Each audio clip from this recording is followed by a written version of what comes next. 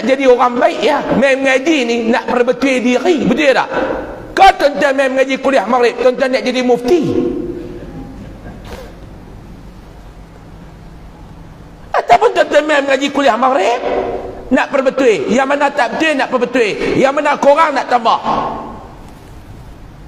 Mainlah mengajak bagi padan dengan orang yang main mengaji.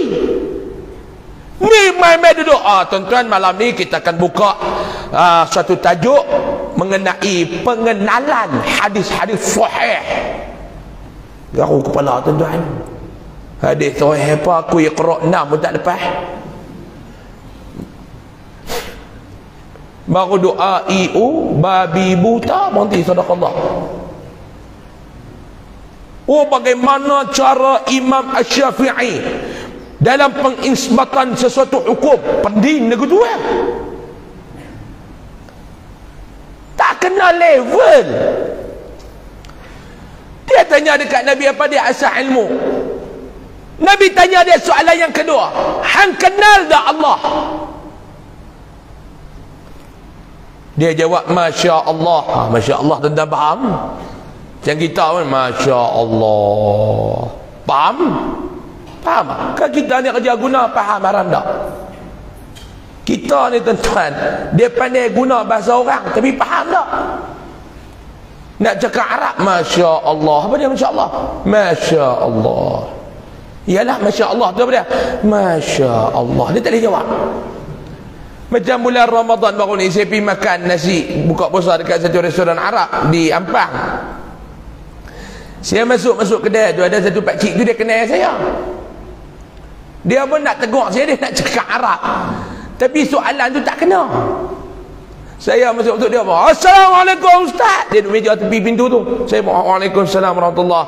Marrabuka. Terkejut saya. Aku ni masuk kedai kan masuk kubur dah. Tengok ni macam kedai. Kita dengan lapak. Duk tunggu maghrib nak masuk. Assalamualaikum Ustaz. Marrabuka.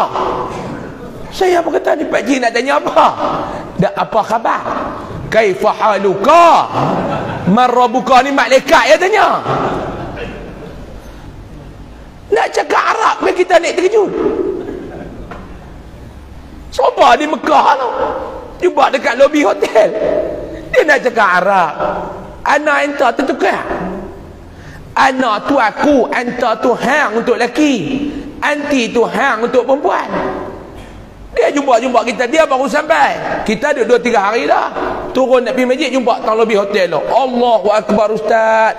Anak sampai bila? Mana aku tahu kan? Dia tanya anak sampai bila? Mana aku tahu kan? Ini mau masalah. Nabi tanya kepada pemuda ni. Nabi kata, hang kenal dah Allah. Masya Allah dia kata. Masya Allah. Okey. Dia kata Masya Allah. Nabi tanya pula soalan yang ketiga. Hang dah tunai dah hak-hak hang kepada Allah. Ha. Lagi kacau. Ni kalau saya tanya soalan ni. Pak Long, orang-orang busut. Ni apa? Hulu busut. Ha, hulu busut. Besut ni apa dia benda? Besut. Daerah, dia asal daripada nama apa? Pokok ke?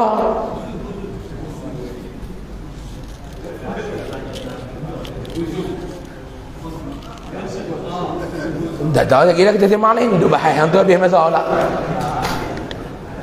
Saya saya lepas muhu. Saya tanya orang besut ni apa Dia kata besut ni Kalau kedah dia panggil bisut ha, Saya kata hang muhu lah ni. Dia ingat kita bodoh. Tuan-tuan kalau saya tanya dekat orang besut malam ni Kenal tak Allah? Tunai tak hak-hak Allah? Tuan-tuan nak jawab apa sebab tu nak masuk syurga Nabi pesan dekat Arab Badawi tu Yang pertama Hang kena buat apa dia? Hang kena kenal Allah. Ngaji bak akidah. Ngaji bak akidah belum ulama dah simpul dah. Nah ngaji bab tauhid sifat 20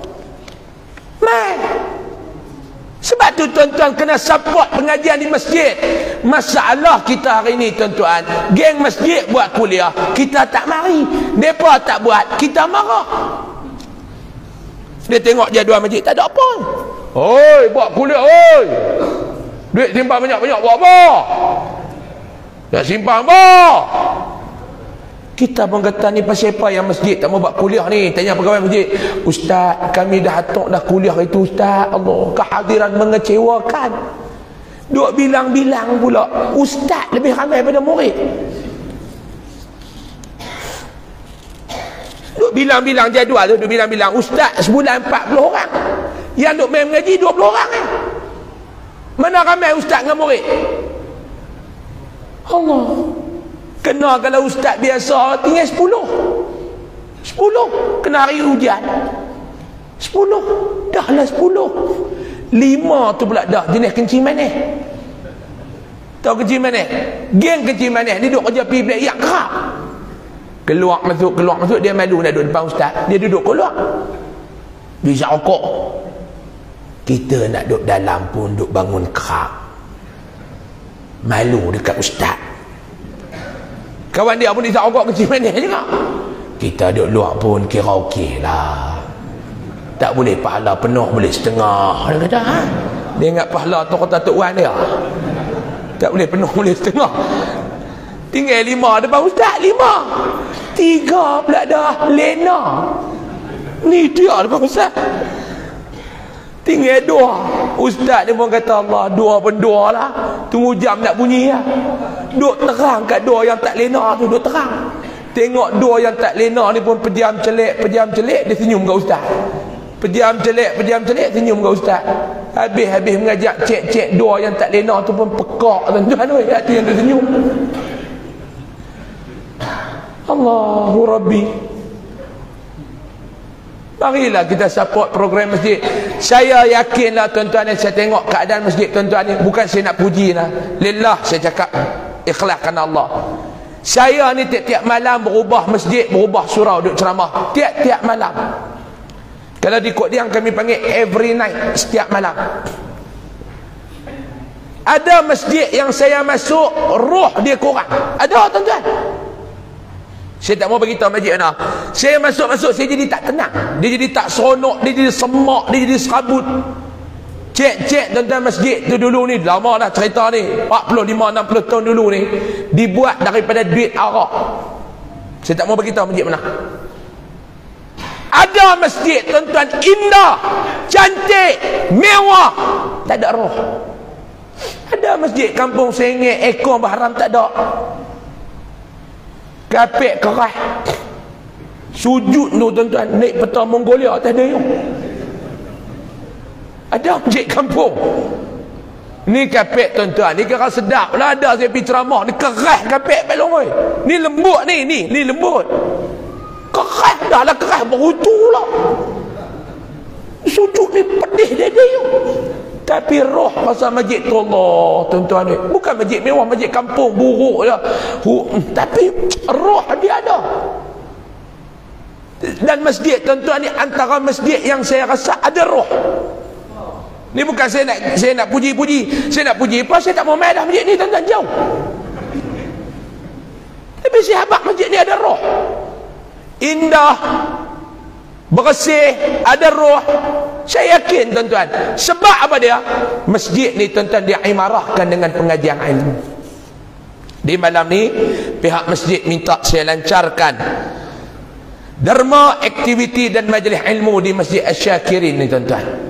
Bubuhlah banyak mana yang tuan-tuan ada. Ada siabuh siap. Mana tabung? Tabung jalan. Mana tabung? Tabung duk mana tabung? Tabung jalan kan tabung duk sengak ha berjalan berjalan. Tolak tolak tolak tabung tu balong ha. Kalau boleh pegang tabung berjalan lagi bagus. Yang mana tak bubuh jangan bergerak. Bubuh bubuh tuan-tuan nak. Bubuhlah Nabi wasallam kata as-sailu 'alal bar hadiyatu min Allah ini saya nak pesan kat tuan-tuan. Ada je peluang orang buka pintu kebajikan depan mata kita itu adalah hadiah daripada Allah untuk kita jalan jalan jalan. Jalan slow-slow tak ada apa-apa kita nak ceramah lagi sejam.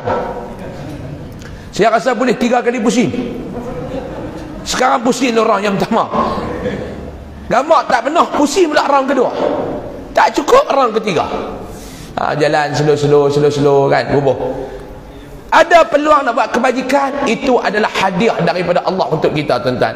Malam ni Allah tak nak buka hadiah kepada tuan-tuan. Tuan-tuan bubuh lah sekadar mana yang tuan-tuan mampu. Ada banyak buh banyak tak ada banyak buh sikit. Duit tak bawa tak apa ambil nama akaun masjid transfer. Tuan-tuan nak kata apa? Saya duit tak ada ustaz. Ada kad bank. Letak kad bank bubuh kod password dalam tu sekali kami pergi cucuk tak ada masalah tuan-tuan. Jadi cik mau eh yang kedua Nabi kata dekat dia